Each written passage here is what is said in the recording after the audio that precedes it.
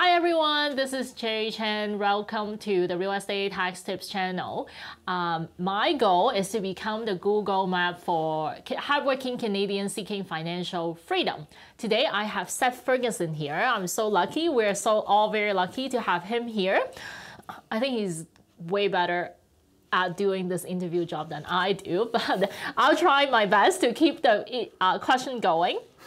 Um, so we have Seth here. Um, he's the multifamily investment guy, mostly about Canadian investing in US.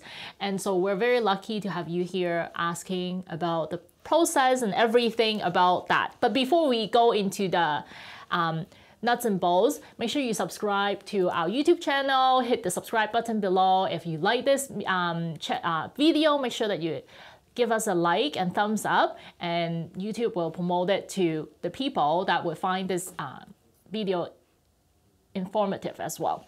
And make sure you leave a comment too for Cherry. Tell her she's doing a good job.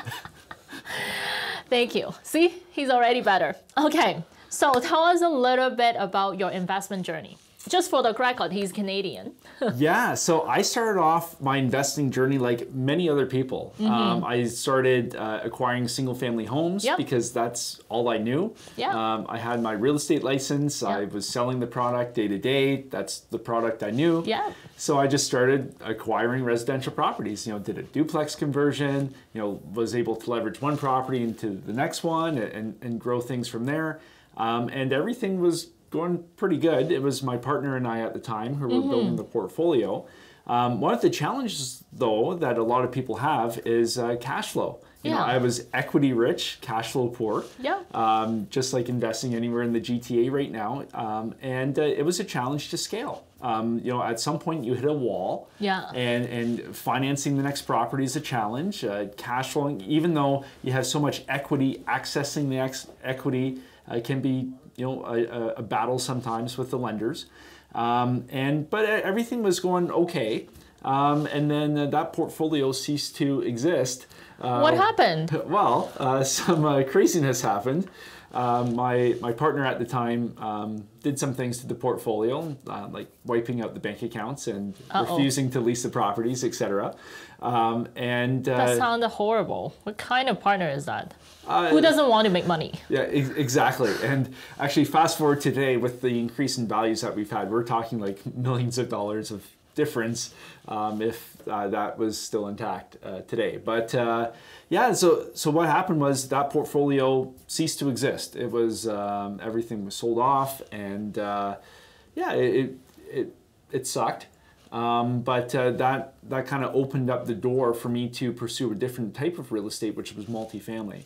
Um, and that's what we'll talk a lot about today, and I'm sure we'll get into it uh, quite a bit. But uh, it, it, really opened up my eyes to what's out there um, because I was pretty ignorant mm. about what multifamily and apartments was all about. And I know a lot of people, they drive by apartment buildings and they think, oh, well, that's just some rich guy or that's Absolutely. a rich company that yeah. owns it.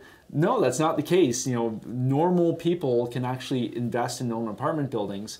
Um, it's just introducing yourself into this hidden world um, that uh, you know a lot of people just don't know about. So hopefully today, after our conversation, everybody can feel a whole I don't know better. about that. Yeah. Yes, I, I'm pretty sure you will explain, but I I just feel the same way. I could totally relate. Looking at the building.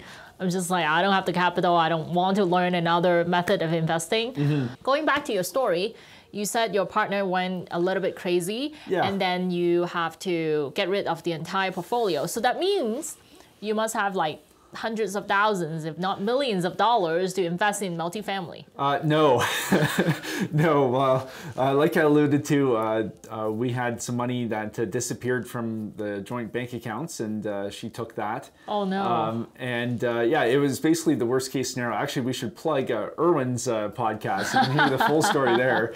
get some cross collaboration going there. Um, but yeah, like like basically, it was run into the ground. Um, there was a separation that was uh, happening at the same time. Mm. Surprise, surprise.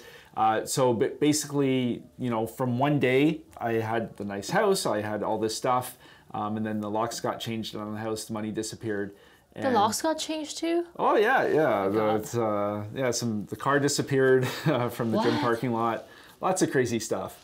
My God. Um, oh yeah, you haven't heard all this stuff. No, I. No, haven't. oh yeah. Yeah, Sorry. so so it ba- basically like I went from doing really well to not having very much, um, and my life basically changed uh, overnight, you could say.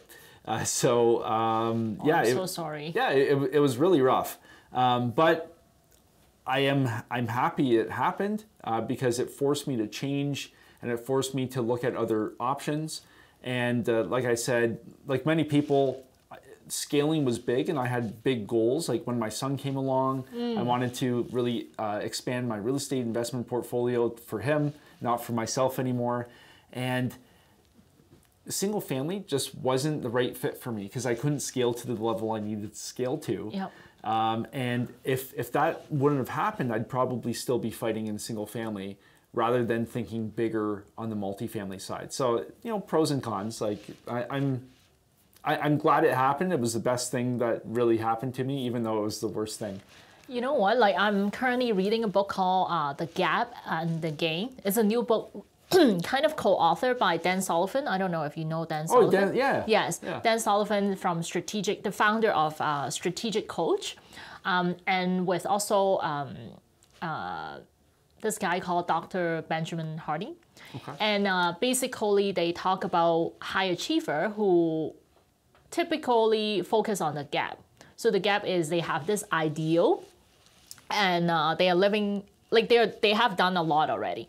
But then if they every time every time they look at their progress, they're not happy because they always look at the ideal. So they only see the gap of the between that, and uh, never look back to see how far they've come.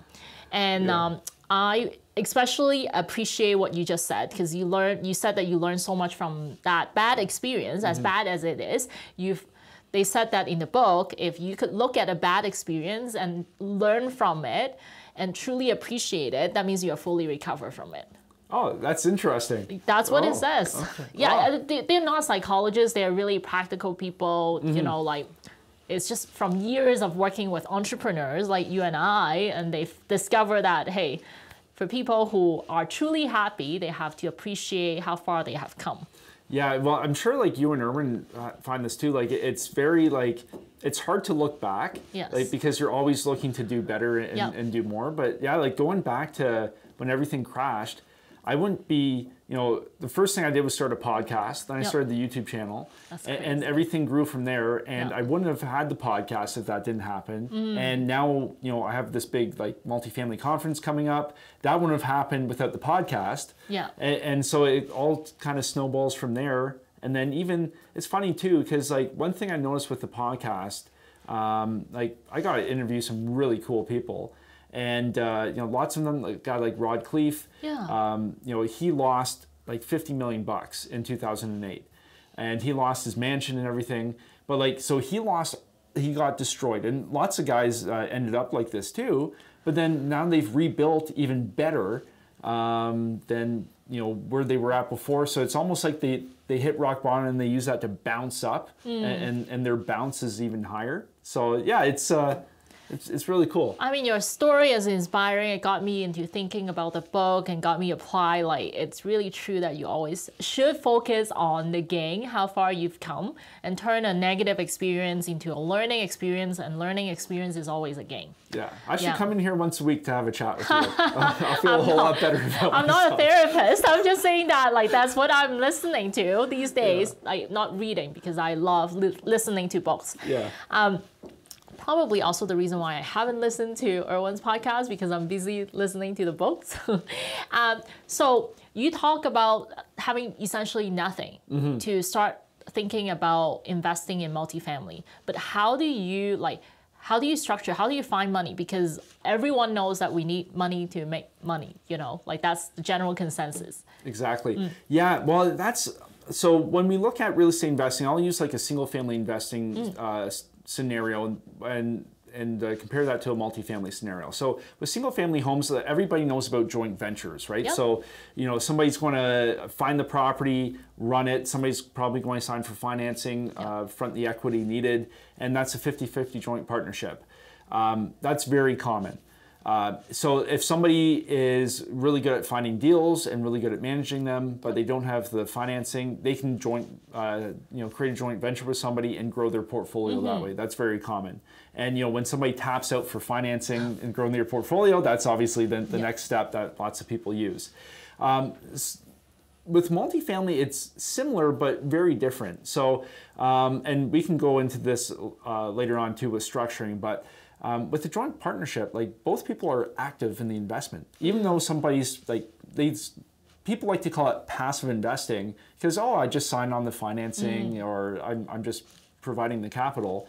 If something goes belly up with the deal, um, your risk is unlimited, Yeah. right? Because you're you're an active party.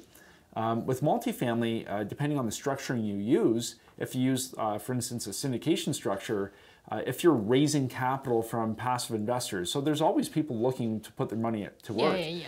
So you can raise that capital from passive investors, syndicate the deal. So the investors are, are offered many protections, uh, the risk is limited, and then you can run and manage the deal. a- And, uh, you need money, you need skin in the game. Like nobody's going to invest money with you without skin in the game. But it doesn't. You don't need ten million dollars to take down an apartment building. Um, you know, this is why you raise equity from other investors who partner with you um, in the deal, and, and then uh, the syndication, the entity runs the deal. Ah, okay, okay, okay. So you partner up with people who want a somewhat passive investment, and then they get a return uh, in exchange, and then um, and then they also get liability protection.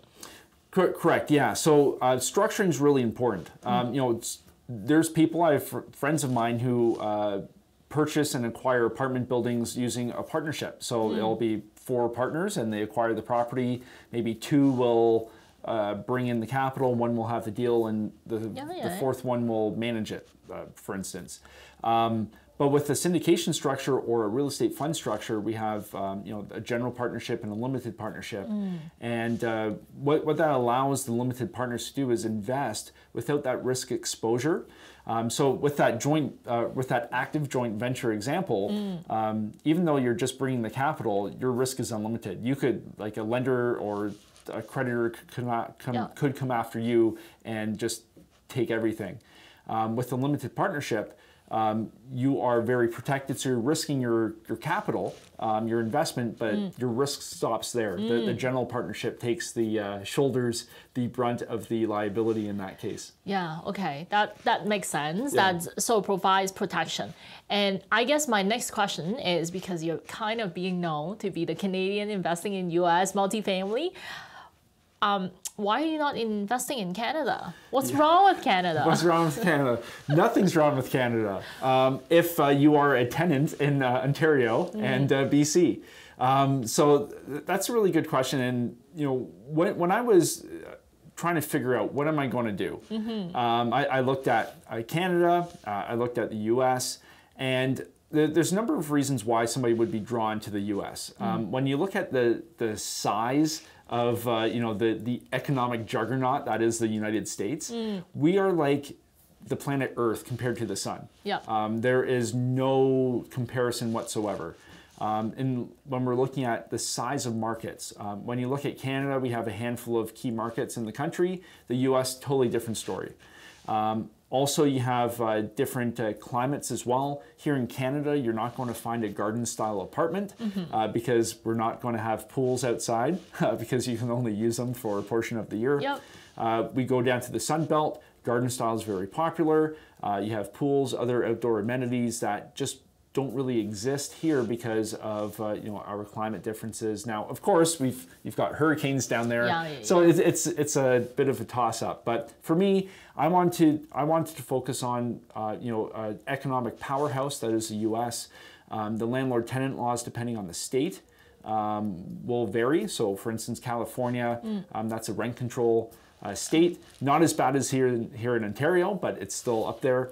Um, but you know, you look at Texas, uh, you look at Florida, um, other states. it- It's very uh, pro landlord. You can do a lot more. Um, you can uh, bring your rents up to market value and actually get a return that you should be getting uh, when you're doing renovations. That's awesome. Uh, so it just makes it a whole lot easier.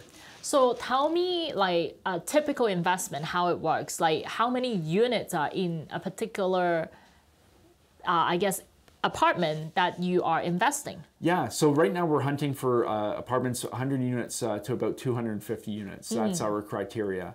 Uh, the reason is um, once you get about over 90 units, the economies of scale work in your favor. Yeah. Um, so, you know, if somebody owns like a 10 unit apartment, they'll know like it's a lot of uh, grunt work that you're doing your own because the, the building, the cash flow doesn't support full time management. Yeah, yeah.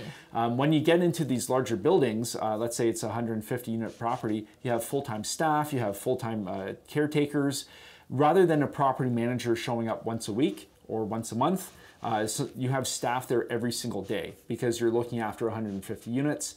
Uh, the the impact or, or the level of care that's taken on the property because if you have somebody there every day you know problems are going to be taken care of sooner Yep. uh, you're going to have a better relationship uh, from your management uh, with the tenants um, it's just it's just more of a you're running more of a business and what i say is you're actually buying a business that just happens to be attached to real estate at that point Ah, yeah, it's Yeah. true. That's right. Yeah. So how like I know you also do target um or I should say you also use this BRRRR strategy with your investment. Even though it's 150 unit, you can still use this BRRRR strategy.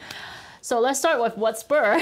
yeah, yeah. So so BRRRR, uh, I'm going to miss an R here, but Yeah, it's like buy, uh, renovate, uh, refinance, rent, repeat. Yeah. Um, so that that's for a single family type of property. Um, with multifamily, it- it's very similar, Mm. um, but there are some key differences. So with single family, and one of the struggles I had was uh, no matter how much rent your property is producing with single family, um, those properties are valued using the comparable approach. Yes. So if there's three houses on the street that are selling for 500, well, okay, let's use a million bucks in the GTA. Mm. Yeah. Um, and, and your house is similar. Well, guess what? Your house is worth a million bucks. yeah, yeah.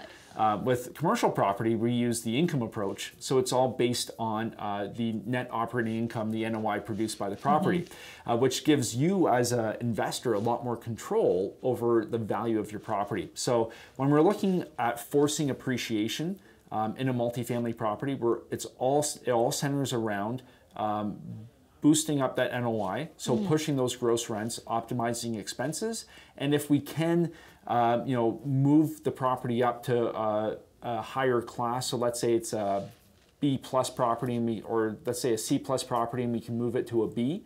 Um, you know, we're going to be valued at a lower cap rate, which is going to give us more uh, value per every dollar uh, produced by the property. So very similar to flipping a house. It's just over a longer time period. So let's say 18 to 24 months versus three months with a single family home. Um, and the idea is still the same. Like we're looking at an underperforming asset, uh, renovating, uh, you know, uh, optimizing that property, and then either uh, refinancing, holding it for a couple extra years, selling it depending on uh, what's going on. So what's the investment horizon in terms of like when you from the time that you purchase to renovate to sometimes eventually sell? Of course, I know even though I am not a tax expert in the U.S. tax um, arena, but I, I know that U.S. if you hold a property for a certain time, you have a long-term capital gain tax rate compared to if you sell it within certain time, you're kind of screwed. Yeah. So um, in terms of uh, investment horizon, generally speaking, a rule of thumb is you're looking at five to seven years. Now, I, I should say, you know, there are some uh, syndicators who, uh, if you're going after like a double A class property, so prime locations, prime properties, uh, you know, you may be looking at a 10-year hold. It all depends on the business plan for that specific property. Um, and, you know, um, you could be looking at a five-year hold, but you can meet 80% of your targets in year three, you'll probably end up selling in year three if you can do that. So it all depends on the specific property. Um, but yeah, the, you brought up a good point with you know holding indefinitely or holding for a long period of time. Um, you have to really look at uh, your return on equity, not just return on investment. Um, and this is where I think uh, a lot of new investors getting into the space get kind of caught up.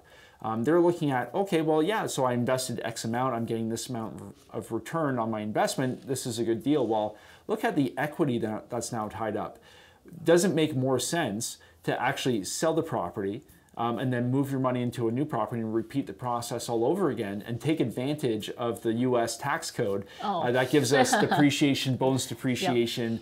Um, that's that is a totally different system to what we have here in Canada. Yeah. So um, it- we always want to be making sure our money's working as hard as possible, and the and and holding real estate indefinitely isn't going to make sure that dollar is working as hard as it can be. So that's why it makes more sense acquire an underperforming asset, improve that asset, sell the asset, rinse and repeat, and take advantage of those uh, tax credits.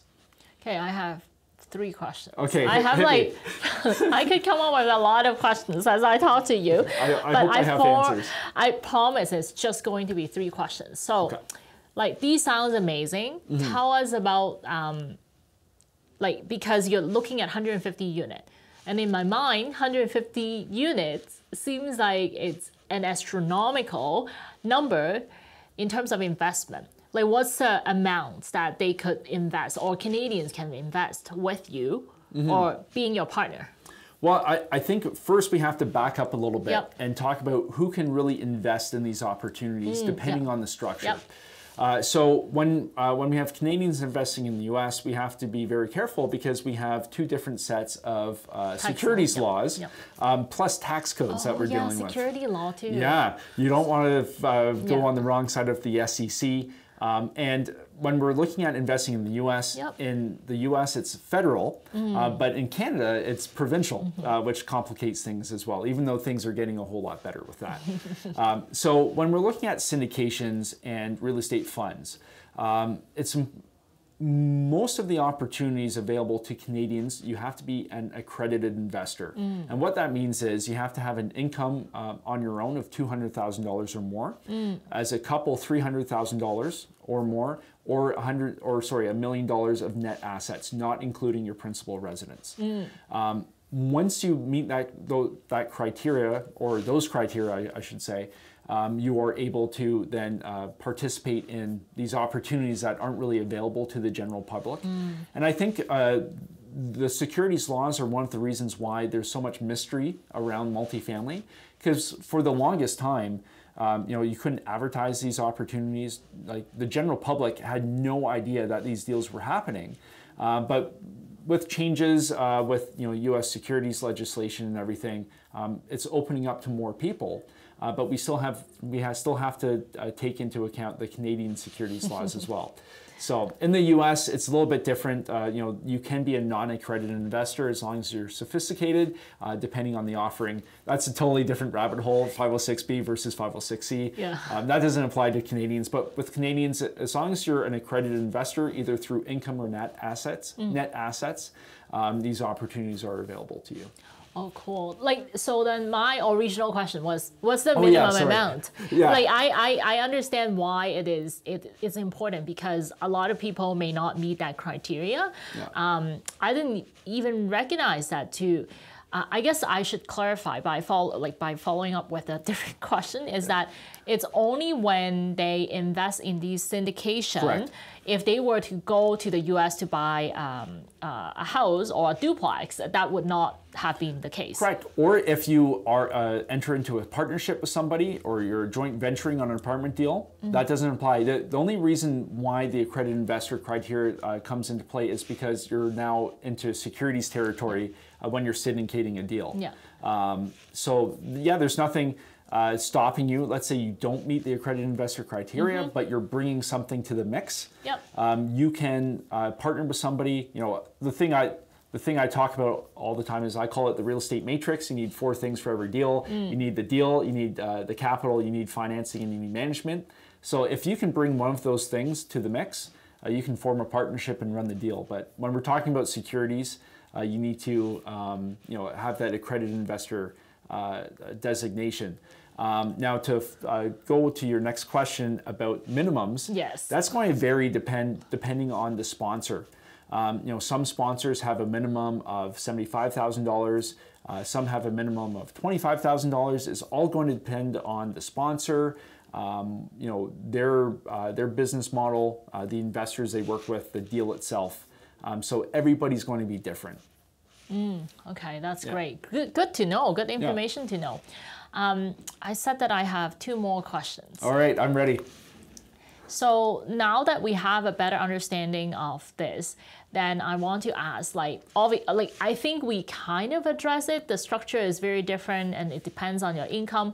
But what's the advantage, or like, why would you choose this way over like investing directly in the U.S.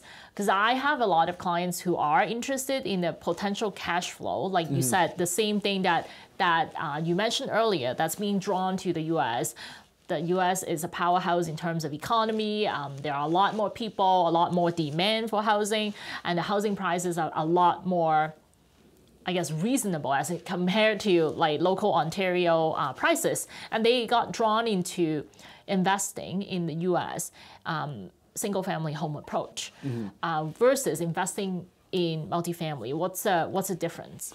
There's many differences. Uh, number one is the strength of the cash flow. Um, now, this is all market dependent, uh, but let's say you, if we're comparing in the same market a single family home or a duplex versus uh, a large apartment building, cash flow is way stronger with apartments. You have the economies of scale there. Yeah. Um, you know, your cost per unit for expenses goes way down. Your management costs, like you have one tax bill versus you know if you have 10 properties. Um, and then you also have stability. Um, not it's stability from a couple different points of view. Number one lenders love lending on multifamily. Uh, lenders will compete to lend on multifamily because Oh. it's so stable. Um, and when you look at uh, you know commercial real estate as a whole, uh, you know office, industrial, retail, and uh, multifamily, the past three recessions, because I'm counting uh, coronavirus as a recession. It is. Um, oh, I shouldn't mention coronavirus on YouTube. You might have to bleep that out. I don't want to get you demonetized. Um, but uh, but when, you, when we look at the past three recessions, multifamily outperformed every single commercial asset class by far. So uh, the the rent downturn was minimum. Uh, the uh, the asset surpassing past the previous peak uh, picked up far uh, faster than all the other assets. So when I'm looking at an asset, where do I want to place my money? Um, sure, it's about the good times, but it's more important how it performs in the bad times. So, um, not only does it provide the strong cash flow, the appreciation side through forced appreciation, but also that stability. Um, that's what makes it a winning combination. Plus, we haven't even talked about the, the cost segregation and everything. That's not that doesn't really make sense for single family homes, but it plays a huge role uh, in the multifamily space. So, if somebody's looking at buying properties on their own versus investing in the syndication, it all kind of depends on what you want to do. Like if you want to be an active investor and own your uh, houses, like that's great. That's the trajectory I was on, but then I realized it wasn't the right one for me. But if you're looking to scale and have that cash flow as well, um, but also get some great tax benefits and have uh, you know your money put into these more stable um, you know uh, businesses really um, you probably want to consider syndication or funds. Um, so it, it all depends like I'm, I'm never one to tell people where they should invest because everybody has different things they want to accomplish uh, but for me I, I just know the things i wanted to accomplish single family couldn't really do that for me with where I wanted to go, and, Yep. and that's why I switched over to multifamily.